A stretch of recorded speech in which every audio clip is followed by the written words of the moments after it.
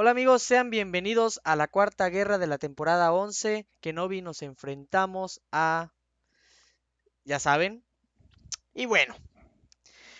Comencemos, era una, era una guerra pues difícil en el sentido no por su defensa, sino porque pues ustedes ya saben quiénes son. eh, son muy conocidos en la comunidad del juego. eh, exclusivamente por, por cometer muchas trampas, ¿no? Y bueno, entonces, obviamente no podíamos tomarnos a la ligera esta guerra. Eh, desgraciadamente teníamos que pelear eh, potenciados al full porque no podíamos cometer ningún error. Y entonces, si obviamente te potencias al máximo, pues el margen de error, eh, pues obviamente decrece, ¿no? Entonces se vuelve más fácil la pelea, se vuelve más corta y pues para asegurar. Como vieron, eh, usé a Corvus contra ese Rino en el nodo de Aegis. Ese nodo de Aegis es de ganchos. Entonces tú tienes que hacerle ganchos para quitarle las cargas de indestructible. Una vez que se las quitas, pues ya puedes eh, golpearlo normal.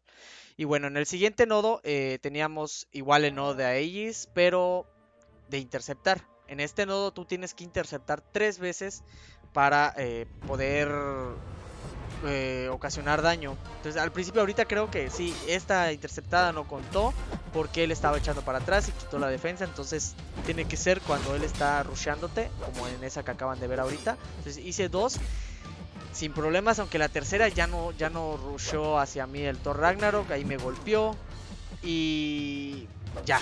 Después conseguí la tercera, no hubo problema, ya empecé a golpearlo tranquilo porque eh, estaba el nodo global de que los defensores metales pues consiguen eh, una carga indestructible si el daño que ocasionas el crítico es mayor al 5% de su vida máxima. Y pues bueno ahí estuve maniobrando de que cuando le hiciera el segundo poder no estuviera ni activado la carga de indestructible y estando pendiente de la recuperación de refuerzo que igual tiene ese nodo global, eh, perdón, ese nodo local que debajo del 50% recuperaba cierto porcentaje de poder. Y pues aparte el acopio del Thor. El Thor Ragnarok es muy bueno en ese nodo. Y bueno, en el siguiente nodo tenemos a un Iceman. Ahí olvidé que ese... Este es como el primer nodo con, como con el Rino. Tienes que hacerle parada y ganchos para que le quites las tres cargas de indestructible. Una vez se haya terminado las tres cargas de indestructible, pues ya puedes golpearlo normal. El único detalle en este nodo que te causa debilidad, una desventaja que reduce el daño que tú ocasionas hacia el enemigo, pero eh, pues en realidad ya Corvus ya tenía una, una misión, eh, estaba pues bien potenciado, suicidas, no iba a tener ningún problema y como ustedes vieron no tuve ningún problema.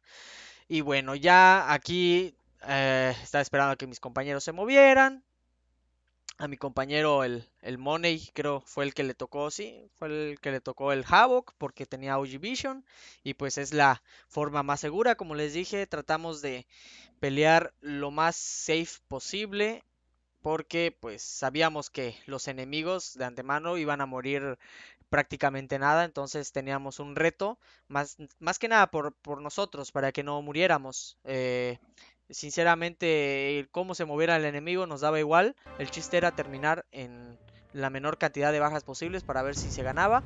Y bueno, tenemos en el siguiente nodo, es el nodo del camino 6. Es inmunidad a todas las desventajas los primeros 25 segundos, creo. Más o menos, 20-25 segundos. Y bueno, ahí nada más esperando, no dando muchos golpes cuando tiene la ventaja de indestructible. Es un poco problemático ese nodo, pero mm, no tanto que digamos. Ya vieron que Corvus se, se ese Iron Man Infinity War en cuestión de segundos. Y bueno, ahora sí, estábamos ahorita en la mañana, ya todos listos, potenciándome de nuevo a lo grande, porque en este momento ya íbamos ganando, pero el enemigo ya nada más le faltaba cuatro luchadores por limpiar y tenían cuatro muertes nada más. Nosotros habíamos muerto dos veces y nos faltaban como 40 luchadores todavía, pero pues sinceramente teníamos todo controlado, ya habíamos nos habíamos puesto de acuerdo para movernos todos al mismo tiempo y así nada más nos potenciáramos una vez más todos los que nos íbamos a mover. Y pues a mí me tocaba este nodo, el Mr. Sinister, ya saben que es el nodo de no retreat, que no te puedes echar para atrás dos veces seguidas, si no sufres degeneración.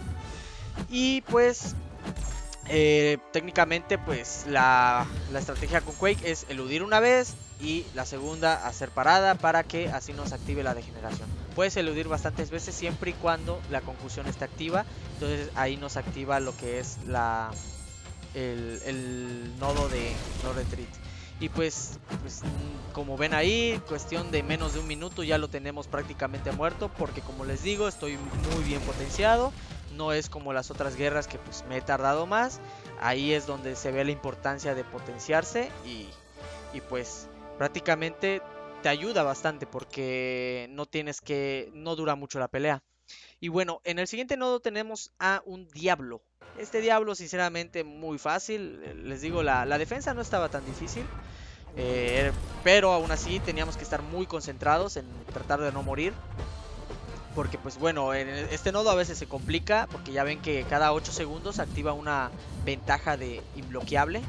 Entonces, eh, eh, era perfecta para esta para este güey porque pues tengo ventaja de clase, eh, me sé cómo se mueve el diablo y aparte el diablo hay que tener cuidado porque depende, cuando lo empiezas a atacar ya ven que luego si activas sus cargas de imparable se vuelve imparable, imagínate y luego se dice imbloqueable y te hace poder, no, no, no, mejor vamos a lo seguro con Quake, no tuve ningún problema, se murió en cuestión de un minuto. Y tenemos al Centinela en salvaguarda, safe ward. Y bueno, eh, pues igual Wake es una de las mejores eh, para contrarrestar este nodo. Este nodo está muy bien puesto porque mayormente la gente usa a Omega Red. Y pues ya saben que Omega Red es muy débil contra los luchadores eh, robóticos. Entonces, pues Sentinela es un robot. por lo que las esporas no se cargan tan rápido. Pero Quake ignora el nodo de salvaguarda porque su daño es directo. Entonces Quake es una muy muy buena opción contra este Sentinela y pues realmente estoy muy acostumbrado a este porque pues si se acuerdan en el 6.1 pues en su mayoría usé a Quake para matar al Sentinela. Entonces no tuve ningún problema, no tiene inmunidad a aturdimiento. Cuestión de segundos también se murió. Aprovechando los potenciadores. Y bueno, ahí ya todos moviéndonos al mismo tiempo. Me tocaba el Corvus. Y ahí sí activé potenciador de invulnerabilidad porque lo iba a usar contra el Hyperion. Eh, perdón, contra el, contra el Misterio. Y este... Y ya, nada más aquí tenía que estar un poco, pues, abusado porque ya saben que el daño de Corvus es bestial y en este nodo en especial se incrementa porque pues entre más combo tengas, más daño te hace. Entonces, eh, me fui a lo seguro, tratar de no interceptar nada, comerme unos golpes en defensa, no había problema, total, ya no, ya no iba a usar a Corvus más en las siguientes peleas que iba a tener. Y pues bastó un especial 2 para que se muriera. No tuve ningún problema. Ahí me dio energía mi compañero. Como les digo, estábamos todos activos para movernos al mismo tiempo, ya que eh, pues mi compañero el Blitz le iba a dar al jefe igual, era una mole, ya saben que él está acostumbrado. Y en el siguiente nodo de regeneración tenemos a una Magic. Magic en realidad es muy fácil con Quake. Nada más tenía que estar pendiente de que pues obviamente no me, no me hiciera gancho cuando estuviera arrinconado. Y ahí deliberadamente pues dejé salir el gancho y pues ni modo, me, me, golpeó, pero pues tenía todavía activo el potenciador de invulnerabilidad. Como les digo, estábamos jugándolo muy muy seguro. Eh, nos estábamos guardando para esta guerra bastantes potenciadores por lo mismo, porque pues ya sabíamos, ya saben cómo en la comunidad corre la, la voz de que pues estos güeyes usan trampas y pues sí, es verdad. De hecho, les tengo un videito al final que luego van a ver. Y sí, no tuve ningún problema con esta Magic muy muy fácil, estaba yo muy muy concentrado. Y bueno, ahora seguía la pelea pues más importante y que me preocupaba un poquito más eh, en, todo, en todos mis caminos que hice. Y pues sí, teníamos a un misterio, nunca le había dado yo sinceramente al misterio. De hecho, en el, en el en la misión mensual del mes pasado de Uncollected le di con Corvus, sinceramente no, no usé yo a Quake. Y pues, pero de hecho me golpeó porque no sabía muy bien cómo se movía, por eso es que me están viendo que ponía yo de repente defensa y así. Hasta cuando ya vi que cuando hacía como que un uppercut eh, en su quinto golpe, es cuando todavía me daba tiempo de eludir todavía más con Quake. Eh, ya de ahí le tomé el timing y dije, ah, no, ya lo tengo todo controlado. Nada más cuestión de seguir eludiendo y se muere. Y pues ya han pasado 45 segundos y pues ya prácticamente lo tenemos casi a la mitad de vida. Eh, aquí en este nodo cualquier luchador que te pongan es un poco difícil por el simple hecho de tener inmunidad a todo y pues eh, si tú usas a Quake obviamente pues es inmune a conmoción entonces no tienes ese ese esa cómo decirlo esa habilidad, esa ventaja extra que tiene Quake cuando se activa la conmoción porque elude todo. O sea, aquí prácticamente lo que tengo que hacer es eludir todo por mi cuenta. Entonces no tengo ninguna ayuda extra de parte del juego. Y pues bueno, se murió el, misterio, no tuve ningún problema. Y pues bueno, ahora nada más era cuestión de que le diera a mi compañero el Blitz al, a la mole. Y ahí está él mandándole mensaje. Y listo. Pasamos a, al video de la mole. Que le dije a mi compañero que me lo enviara. Porque resulta que en el chat de, de los trampositos andaban diciendo que no era posible bajarse a, a la mole en un minuto y medio con Omega Red. O sea, eh, es absurdo porque da la casualidad que esos chavos eh, usan usan a Blade, usan a cualquier Ghost Rider, usan a cualquier luchador menos Omega Red eh, para bajarse a las moles de, un, de, una sola vez. Y, o sea, obviamente, moles en rango 5 por 200. y se los bajan en cuestión de segundos.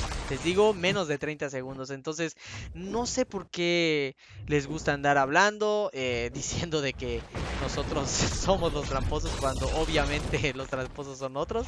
Y he aquí la prueba. De hecho, nosotros incontable, incontables veces le hemos pedido de que por favor nos muestren pruebas de que sus peleas son legítimas. Y pues hasta la fecha nunca lo han hecho.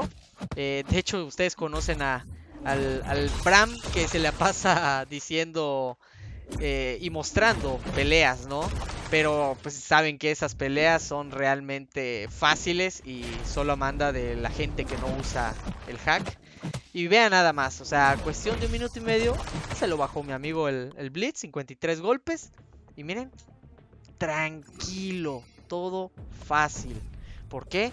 Porque nosotros ya teníamos todo planeado, todos nos movimos al momento, buscamos el momento exacto para poder movernos y pues bueno, ahí felicitándonos entre nosotros que hicimos una muy muy buena, muy muy muy buena guerra. Eh, y pues sí, así es. ahí nada más vean los mensajes diciendo que nada más faltaba el grupo 3 en terminar y ya nada más eso hacía falta para pues, ganarle a esos tramposos. Y pues sí. Ahora, ahora mismo les voy a decir. Así es como terminamos. Eh, ahorita eh, pues todavía estoy grabando el audio antes de que termine la guerra, entonces no tengo la imagen de la victoria, pero pues ya está terminada la guerra de parte de nosotros. aunque mueran, aunque ya no mueran, ya la guerra ya la ganamos y pues muchas felicidades, muchas felicidades de verdad a toda mi alianza y pues felicidades, claro que sí, a los MVP de esta guerra. Ahí aparezco yo. Claro que sí. Eh, igual mi cuate el Gueto, que es el XFC Ice. Y el King Merx, que igual se bajó al jefe del campeón del grupo 3. Y pues sí, amigos, ¿qué tal les pareció esta guerra? Estuvo muy buena, ¿verdad? Este, y pues ya saben, si les gustó, pues pueden dejar su like. Si no se han suscrito, pues pueden suscribirse y díganme qué tal les pareció la guerra. Dejen sus comentarios, los voy a estar leyendo. Y pues nada amigos, nos vemos en el siguiente video. Bye. ¡Eh amigos! Todavía no se vayan porque tenemos material inédito de una pelea de cómo se nos bajan a nuestro jefe de guerra sin rasguñarse en cuestión de 15, 20 segundos, amigos. Miren nada más a este a esta lacra que se llama Sinister X-X. Ahí todavía no está peleando, amigos. Ahí está viendo a ver qué luchador uso, qué hack pongo. Y bueno, ahí comenzó la pelea. Mi compañero, el Death Nuts, que nos mandó el, el video, él estaba despierto en ese momento. Vean nada más, han pasado 10 segundos. Ahorita nada más checa qué onda, cuál será que está usando. Quita la, la pantalla de que está peleando y ¡boom! Terminó. Vean nada más. Saquen sus conclusiones. Hasta luego.